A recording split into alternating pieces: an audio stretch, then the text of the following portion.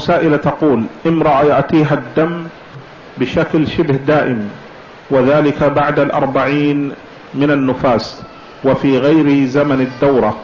هل تصلي وتصوم والحال كما ذكر؟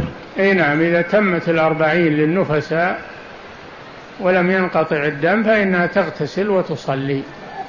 ويعتبر هذا الدم دم فساد نزيف ليس نفاسا. ولا حيضا لأنه لم يصادف وقت الدورة. نعم.